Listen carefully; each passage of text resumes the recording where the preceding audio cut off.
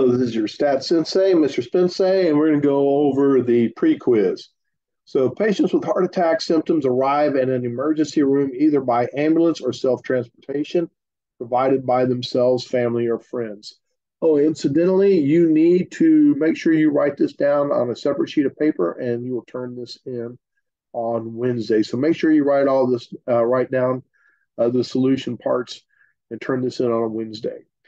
When a patient arrives at the emergency room, the uh, time of arrival is recorded. Uh, the time when the patient's uh, diagnostic treatment is also recorded. An administrator of a large hospital wants to determine whether the mean wait time between arrival and diagnostic for patients with heart attack symptoms differs according to the way that they were uh, uh, um, delivered. For each patient, the mode of transportation and wait time are recorded. Summary statistics for each mode of transportation are shown in the table below. Uh, so we see that on average, it takes uh, six minutes by ambulance to be seen and eight and a half minutes to be seen um, if delivered by self. We had 77 delivered by ambulance, 73 de- delivered by self. And we these are our standard deviations 4.3 for the ambulance and 5.16. We read on. Use a 99% confidence interval to estimate the difference between the mean wait times for ambulance transported and self transported patients at the emergency room. So our very first thing we have to do, and we can look at, uh, and you need to be looking at your formula charts, um, your recipe cards. Let mu equal the true population mean wait time when delivered by ambulance, and let mu two equal the true population mean wait time when transported by self. Random sample actually was not given. We will try not to do that to you again, but random sample was not given for both, since is my mistake. Random sample given for both. N equals 77, which is greater than 30, so normal by central limit theorem. And N equals 73, which is greater than 30, so also normal by central limit theorem. We wrote down our formula, x bar 1 minus x bar 2 plus or minus t star the square root of S1 squared over N1, S2 squared over N2. And then we started recording the information that we had. Well, the information we have is 6.4 and then 8.3, 2.4 and 8.3. And over here we had 4.3 and 5.6 for our standard deviations. We had sample sizes of 77 and 73 and we had a 99% confidence level. The big thing here is I have to get my T star. So the way to get my T star is to go ahead and run a test. And I really don't care if you run number four or number zero. I'm going to run zero because that's the, the one that I we're working with, which is, and I have my information in L1 and L2, and I should show you that. Actually, I don't for this one. I do for the next one. So stats, I need to go ahead and put my information in. Um, X1, 6.04. SX, 4.3. N1, 77. 8.3 for X2. 5.16. The standard deviation, sample size is 73. Oops, not 733, 73 the confidence level of 99 and we never pool.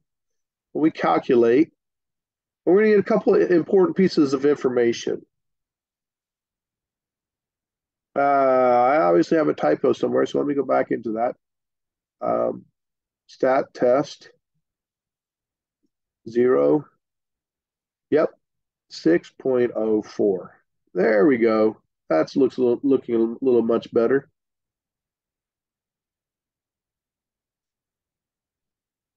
N. So we have our, we actually have our interval. We can write that down on number nine right now, negative 4.291 and negative 0.2291. The other thing I need to notice is I need my degrees of freedom, which it gives me to right here, 140.3717. And with that, I can now get my T star. So to get my T star, second vars, inverse t, 1 minus 0.99 divided by 2 degrees of freedom. There's that 140.3717 I needed. And I get a T star of 2.6113. At this point, I can go ahead and start plugging all that information into my formula. And sure enough, there's 6.04, 8.3. There's our 2.6113 for our T star value. My standard deviation of 4.3 over the sample size of 77 plus 5.16 squared over the uh, sample size of 73. And as noted before, we we got this value by going stat test. This is how we got our interval. We dropped all the way down to number zero, which is a two sample inter t interval, and we put all our information in.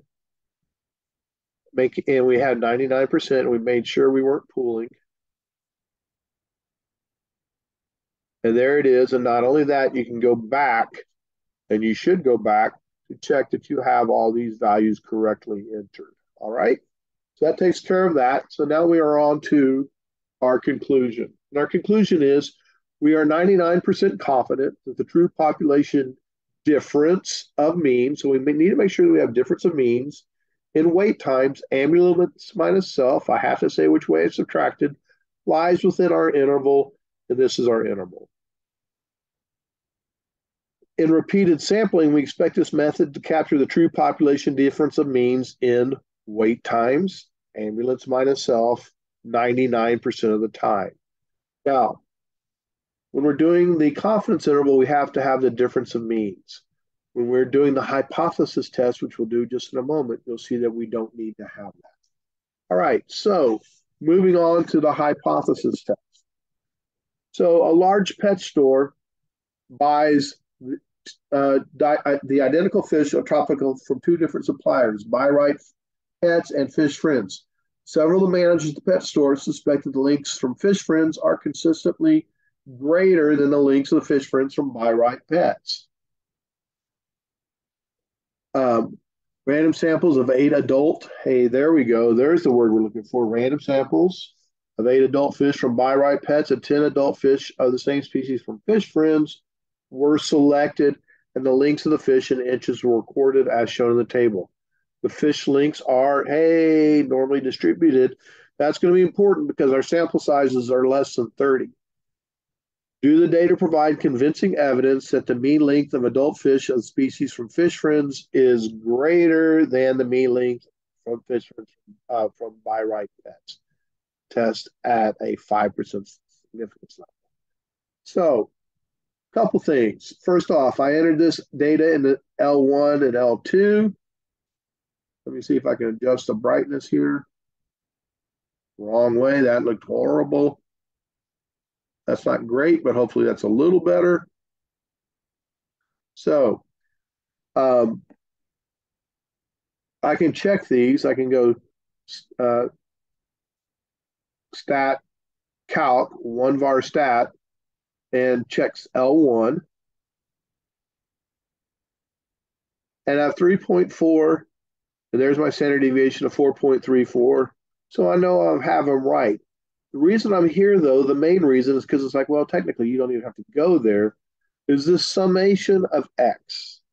So if I see this and I see 27.2, that just means if I added all these values up, they're going to equal 27.2. And we probably will start using that as a check figure and may do that on the quiz so make sure you know that when you see that summation sign right here, that little summation sign, the summation of x equals 27.2. That means when you add the values up, it should equal 27.2.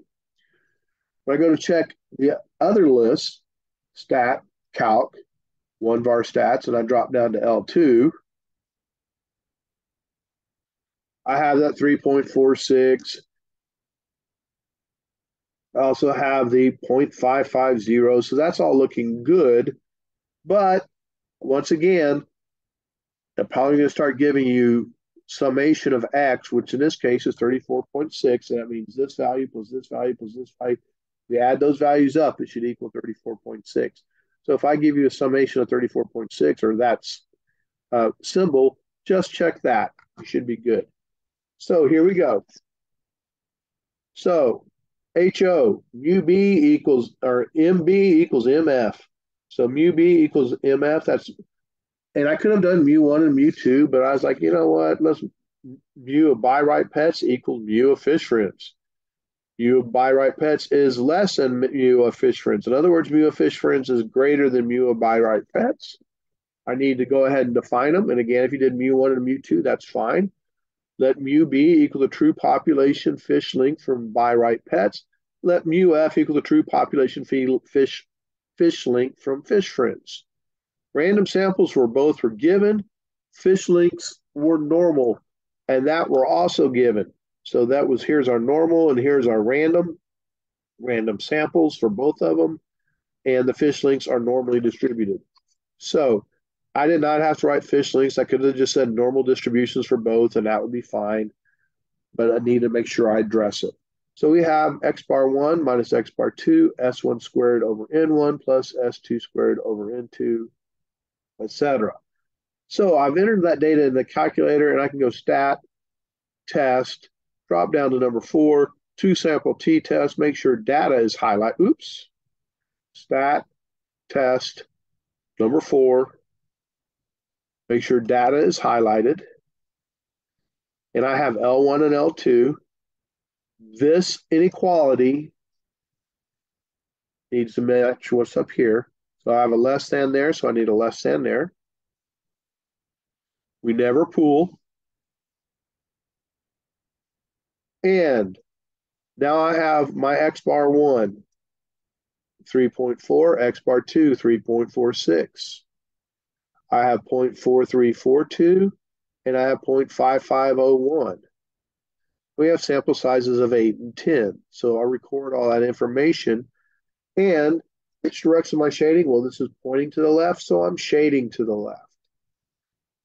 I plug those values into my formula. There's x bar 1, there's x bar 2. Uh, standard deviation 1, standard deviation 2, sample size 1, sample size 2.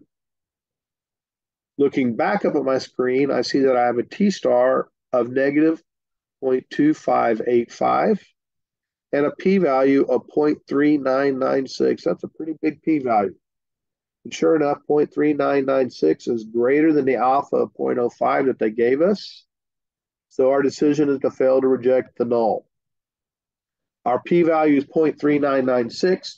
We fail to reject the null there is not sufficient evidence that alpha equal 0.05 to suggest the true population mean fish length of Buy Right pets is less than that of fish friends. So that the true population mean fish length from where? From Buy Right pets is less than from fish friends. All right. So re- if you notice in here, we do not talk about the um, difference of the means. We have to do that with the um, confidence interval, but not with the hypothesis test. I hope this helps, and I sure hope I'm back to see you all on Wednesday. Uh, see you on the next one. Thank you.